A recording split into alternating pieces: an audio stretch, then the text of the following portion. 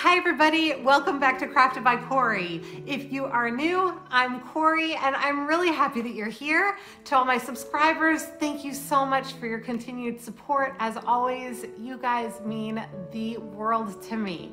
I'm really excited about today's video because it is part of Heidi Sonboul's fall Halloween challenge. So really excited about that. Heidi Sonboul from Heidi Sonboul DIY. She's a fantastic channel. If you have not already checked her out, you want to make sure that you do that. There will be a link to her channel and also a link to the playlist in the description box. So be sure to check all of that out. I also am going to have a couple of really fun things uh, during the video today. In addition to the crafts themselves, but I've got an announcement and also a really great shout out that I'm happy to share. So make sure that you watch through the end. Give me a big thumbs up. If you have not already subscribed, please hit that subscription button and be sure you hit that little bell so you get notified every time I upload a new video. All right, without further ado, let's go ahead and get started. So here we go with DIY number one. So if you remember this project from last week, we are going to be doing something with the back. And here is the inspiration picture, $34.99 at Wayfair, you guys. For you and me, it is free if you did last week's project. If you missed last week's project, I will make sure that I link it in the description box so that you can uh, go ahead and take a look at how we did this. So laying our little pumpkins down with their back sides up and uh, we are going to actually use this Sharpie paint marker in black. Super simple project, you guys. Hardly can even call it a DIY. Most of the work is already done. But I am going to draw out my B O O. And then I'm going to embellish it a little bit with some other little spooky critters with spider webs and our little spider friends.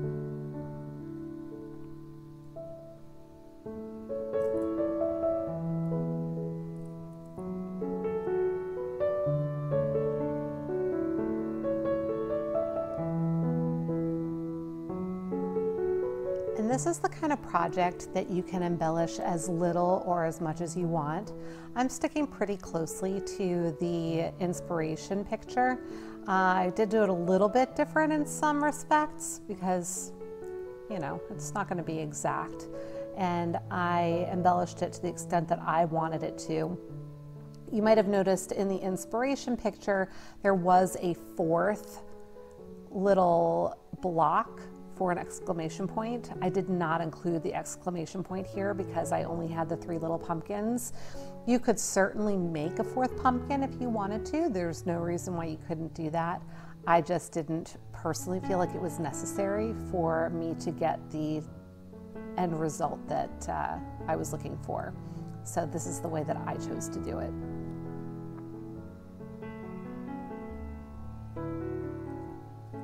So now I'm going back in and just thickening up my letters. And I'll be speeding this along for you in just a moment.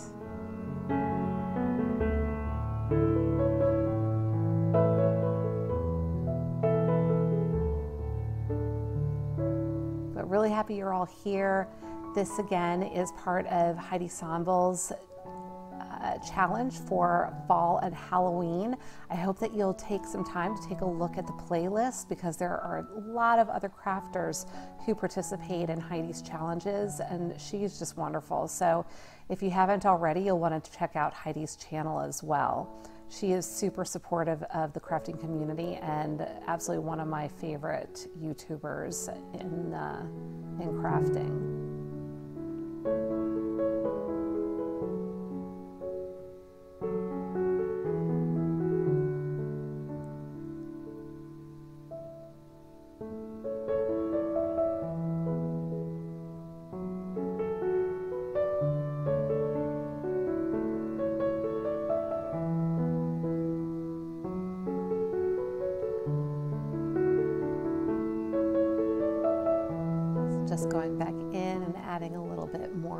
Spider webs.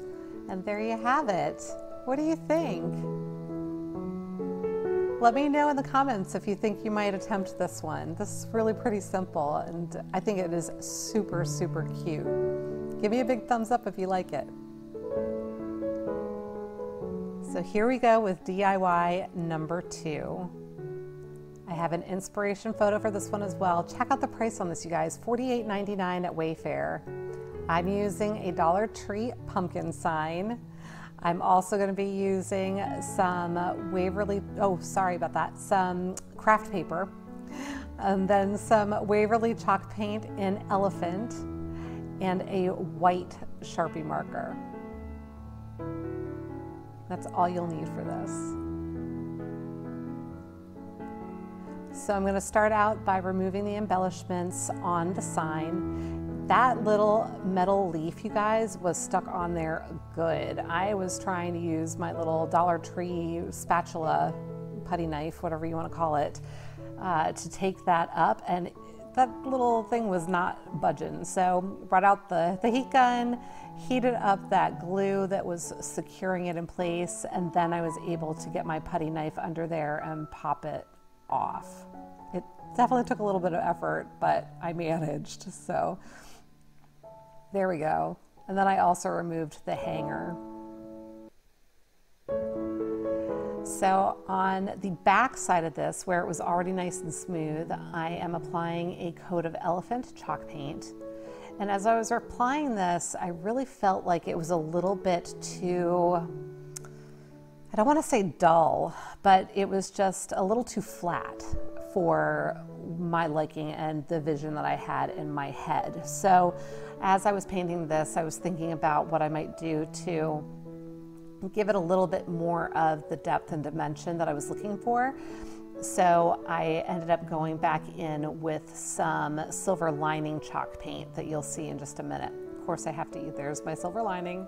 Of course, I have to use my heat tool because I have no patience, but using a chippy brush from the Dollar Tree as well.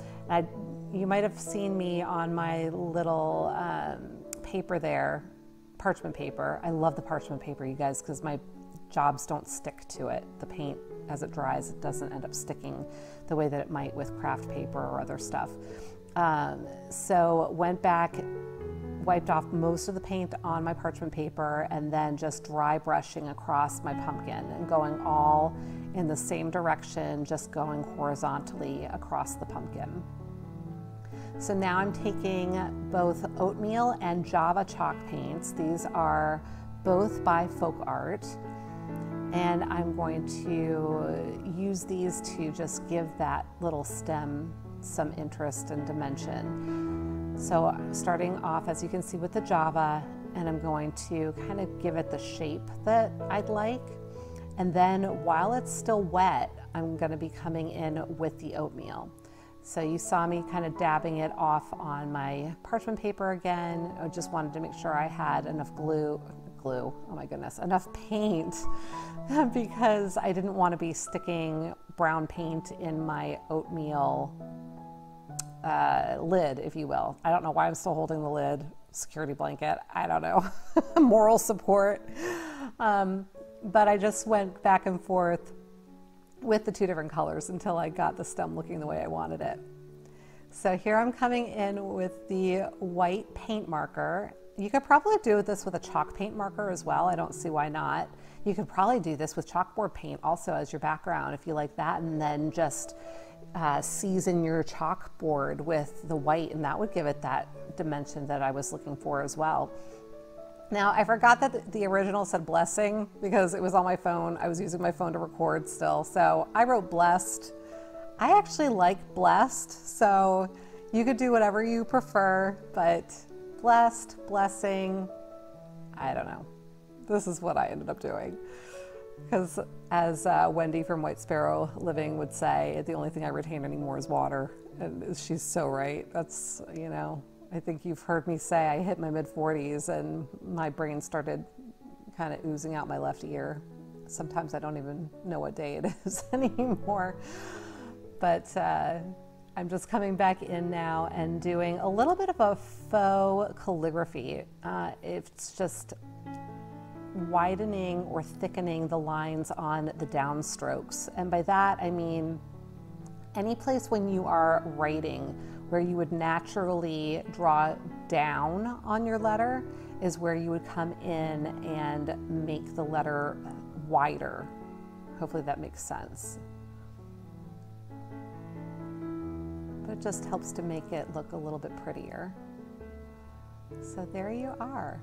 And you guys, if I can do this, anybody can do this because I have terrible handwriting. This is not handwriting, this is hand lettering, and it's a lot different. Keep in mind that I have this sped up rather significantly for demonstration purposes. So if you take your time and just give yourself a little patience, you can absolutely do this. And I would encourage you to try, even just practice on a scrap paper. You know, I used to practice with a ballpoint pen even. So I drew my little squiggly lines around and now I'm coming in with Dollar Tree leaves. These were 50 pieces to a pack and they had various different colors. I thought they were really cute. So applying some of those and then I'm getting my raffia together that I'm gonna be tying around my stem. First, I'm going to be coming in. I'd been debating whether I put the raffia on first or secure the leaves first. And then I finally decided, yeah, let's secure the leaves first. So coming in just with hot glue, gluing down my little leaves.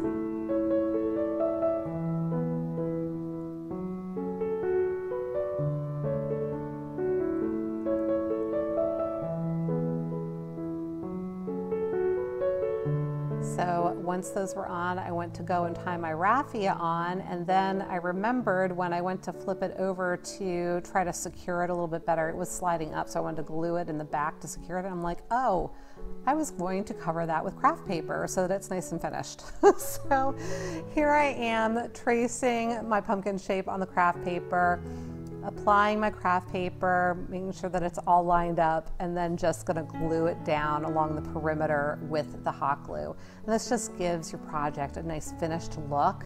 So in case anybody sees it, it just looks nice and finished and professional. I have this just leaning somewhere, so it, it potentially could have the back showing. So I definitely want that back to look nice and neat. So now coming back in with my raffia and just going to tie a little bow, but first, as I mentioned, securing it at the back with some hot glue so that it doesn't slide up the pumpkin stem on me because there wasn't really anything to hold it there and the stem kind of gets smaller, it tapers as it goes up. So here I am tying it off and then I'm going to trim the little ends on the inspiration picture. They did have much longer raffia stem, like uh, tails, if you will. I chose to have mine a little bit shorter, but you can do it however you choose. But isn't it pretty? I think it came out nice.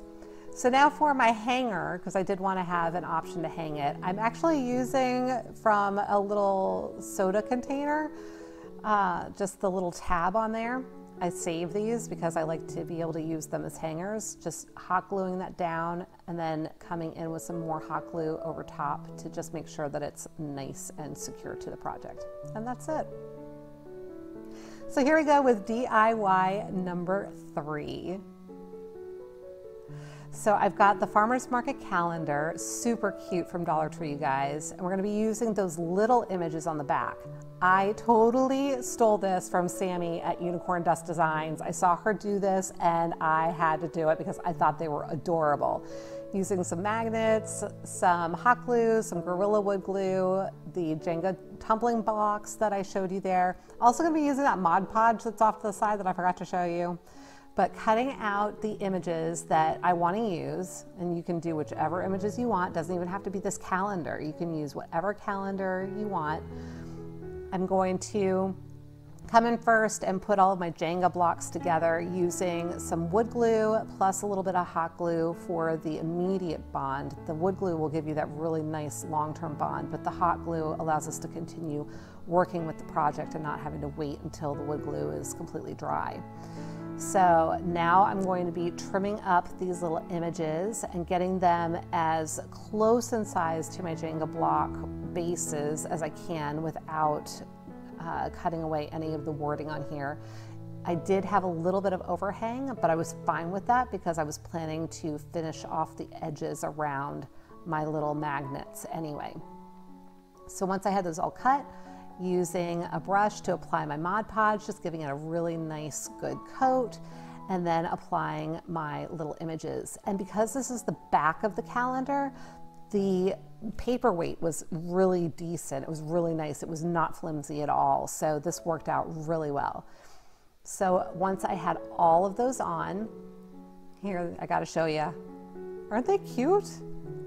I just love these. I'm so happy that Sammy had this idea because I just, I don't know if I ever would have thought of it. I thought it was just adorable. So now for finishing mine, I'm using jute twine and I'm going to wrap this around. And I started at first on the bottom and then you see me pulling it right off and I had a thought. I thought, you know, I'm just gonna start it at the top and then I'm gonna be doing something on top to cover up my seam. And that way you will never see my seam on any of these little pieces. So just using a little bit of hot glue all the way around as I go. You don't need to have an entire bead of glue for the length of the cord. You just want enough so that it'll secure it on each side as you go around. I did one row, cut it off, and then I did a second row behind it, if you will. So there are two rows of cord on each of these, and I'll show you a closer up um, picture on it in just a little bit. But the reason why I decided to cut it here is that I just wanted it to all lay nice and flat. I knew I was going to be covering up that seam anyway. And I just felt like if I tried to continue around, I wasn't going to get the nice, smooth lines that I was looking to achieve all the way around the piece. So there I am starting going around a second time. And then once that was all done, for my top I thought at first I wanted to do a bow.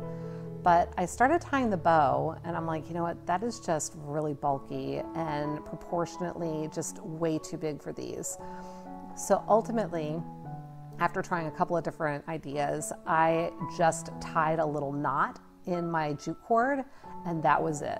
I trimmed off the ends so that they weren't hanging over too far, and there you go. So it's literally just tied a knot in the jute cord, and then I'm gonna glue it right on top of my magnet.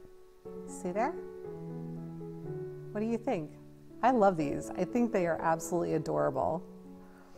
So once that was done, I went ahead and applied my magnet with some hot glue. And then I repeated it for the rest. Here I'm showing you a little bit closer the whole process so that you can see exactly what I was doing.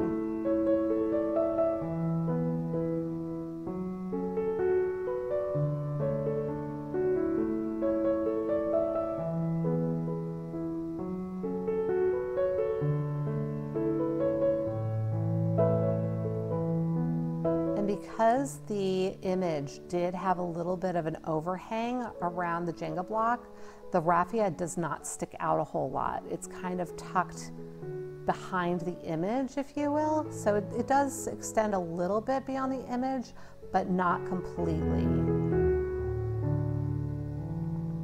It is somewhat tucked in behind that image. So it just looks like a really nice finished piece. I was really pleased with how these came out. And I can definitely tell you, I will be making some of these for gifts, you guys. They're super easy, super cute.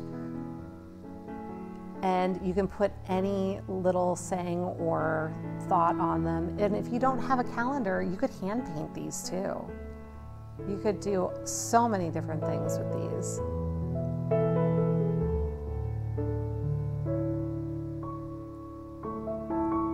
They all are once I had them all finished.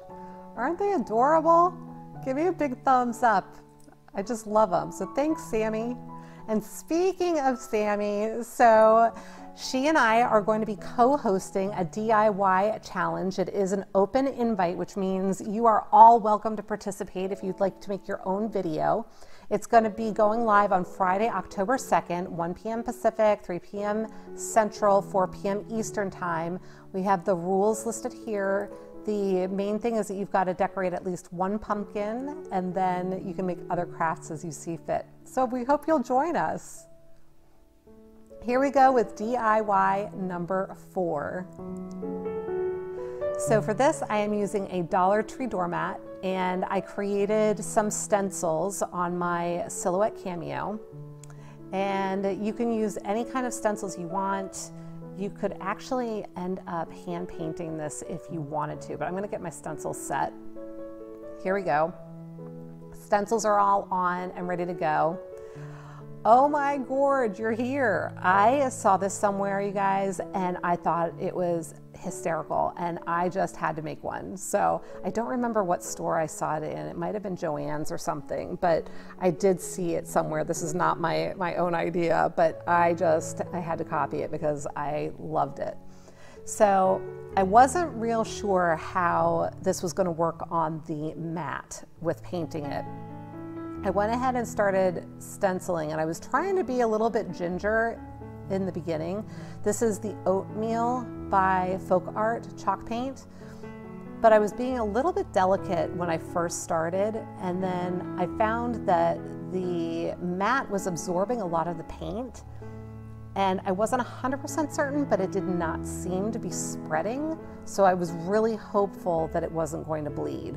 So then I got a little bit more aggressive with it and I just went in and, and just kept jabbing it with the, my little uh, makeup sponge because again, I like to use these makeup sponges for stenciling. You can cut them to all different sizes. So if you've got things that are a little bit smaller or more intricate, you can cut one down to whatever size you want. And I just find that they work really well.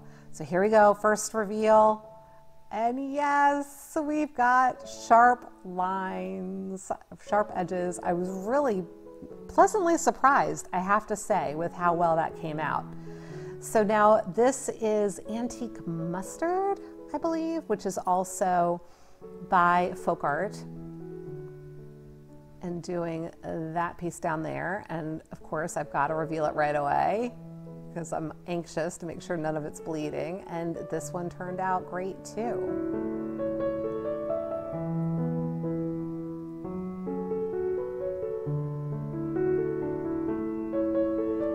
So now I'm coming in with Fern chalk paint. And as I was doing this, you guys, I was a little concerned that the green wasn't going to be enough of a contrast with the matte. I wasn't sure if it was going to pop off enough for us to see. And you'll see here that it really isn't, right? I don't know if you can see it as well on camera here. I guess you can tell a little bit. It just, it was not as vibrant a color as what I needed. So as I'm working on it, I'm kind of thinking about what I'm going to do and wondering how I might fix it because of course now I've taken off my stencil, so that's done. So in the meantime, I came in with a paintbrush and I wanted to fill in this little pumpkin, my, my gourd. So using pumpkin chalk paint by Waverly for this. And you guys, this mat soaks up a lot of paint. So it can really handle it. And that was why I was saying earlier that you might even be able to hand paint something on here. The paint I was finding does not bleed. It was really actually very easy to work with. It just, it takes a lot. so you really have to use quite a bit of paint on this if you want it to show up. But as you can see, uh, once I had experienced what I did with the, the pumpkin, I was like, well, maybe this won't be quite so hard. So I came in now with my Irish chalk paint, also home decor by Folk Art and I'm just going at it with the brush and just going over all my lines. And, you know, it really worked out well. I was afraid that I was going to be going outside of my lines, but I don't know, something with having already had the paint on there, and I, I don't know. It worked out really well for me. So, what do you think? Oh my gorge, you're here. I love it. Give me a big thumbs up. All right, you guys, another thumbs up I want you to give to Christy from Tulsa, Oklahoma. I've got a big shout out for her. She tried one of the projects from last week, and I had let you guys know that I would love to share your project. So, Christy, awesome job. Thank you so much for sharing. Everybody, give Christy a shout out. Here we go for DIY number five. So for this one, I have a one by two. This is leftover from another project I did a while ago. I picked it up from Home Depot, I think for like a dollar for an eight foot uh, length. I've got a couple of long screws. You see my five arrows from the Dollar Tree. And then this is just a scrap. It was from like a wine box or something my fiance had gotten for a gift a few years ago. Using my drill, I had um, chosen a drill bit that was going to be the right size for my uh, screws. And I'm going to be screwing that one by two into the other wood scrap, which is going to serve as my base because I'm going to be making a sign here. So I'm going to be finding the center for my base and then I'll be drilling some holes in there and securing it with those screws.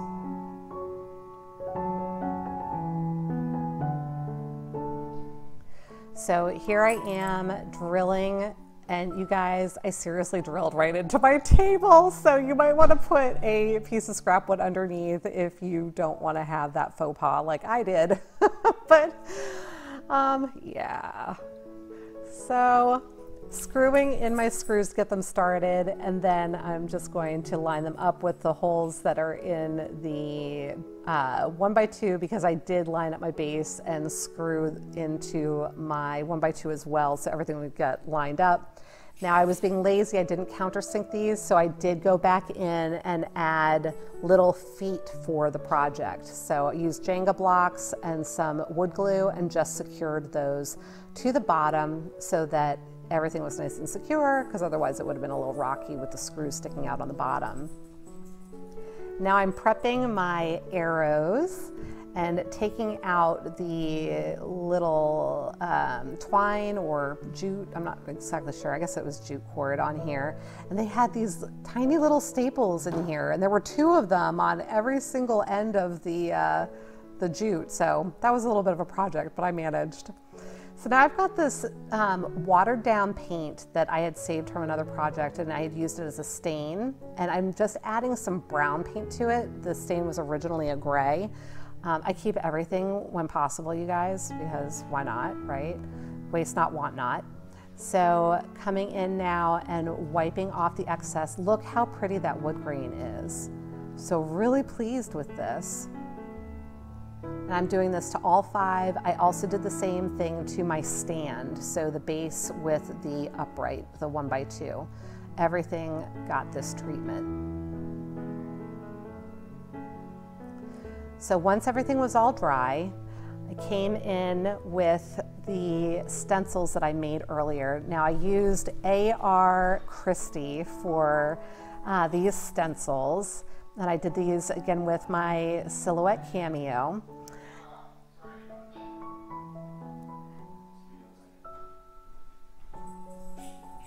and got them all onto my pieces. And then I'm gonna actually go over these with Mod Podge this time.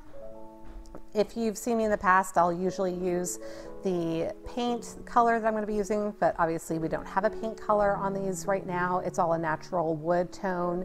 So going to be going over it with the Mod Podge and then afterwards we will uh, go over it with the paint color. Okay, so here you can see I cut off a little tiny piece of the cosmetic sponge. That's one reason I love these little sponges. I mentioned before that you can make them any size, so when you have a little bit more intricate work to do with stenciling, you can really get in there where you want the paint and also not be putting paint where you don't want it. So here I have been using that orange color that I had blended for the pumpkins that I did last week I've also used the Imperial Red, the Fern Green, and now I'm coming in with something called Salmon Coral. So here I go, I'm gonna go ahead and start revealing the job. And the lines are really nice and crisp and I was really pleased with how this came out and I'm going to show you close up in just a minute.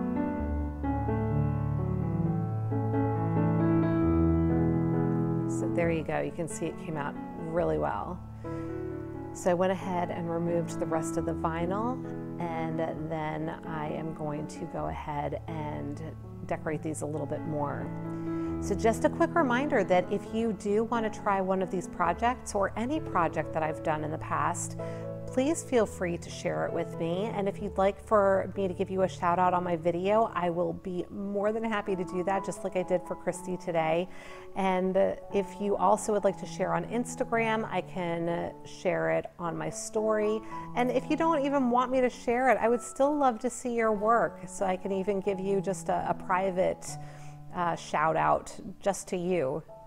I just would love to see the work that you guys are all doing. It uh, inspires me. So, so here I'm trying to make some apples. You guys, yeah, they're very round. I used my little um, round foam brush, and yeah. So now I've got a close up here showing you that I'm trying to make little corn on the cob. And then I'm coming in with my moss colored chalk paint to do the greenery around the corn. The other yellow that I'd used was uh, Summer Porch. And these are both by Folk Art. So now I'm coming in with some more of the moss. I know it's really hard to see here, but just making little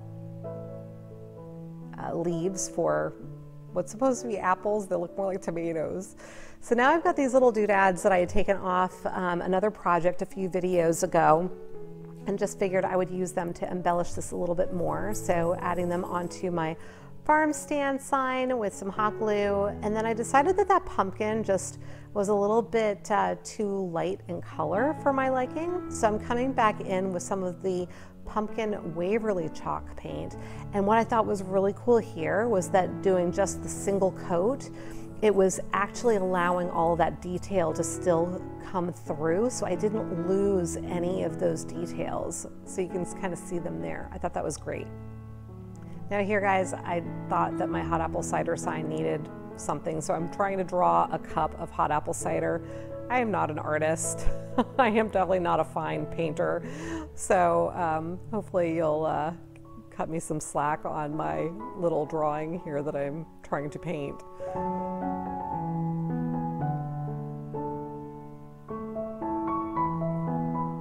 So once everything is decorated and dry, I am lining it up on my stand the way that I want it. And I'm gonna be using those little one inch screws to nail them all on. I've chosen to use just a single nail for each of these. This is supposed to be a little rustic sign. I've got the arrows pointing kind of in different directions and having just the single uh, nails will also let me kind of change those up a little bit. So here we go with the final reveal.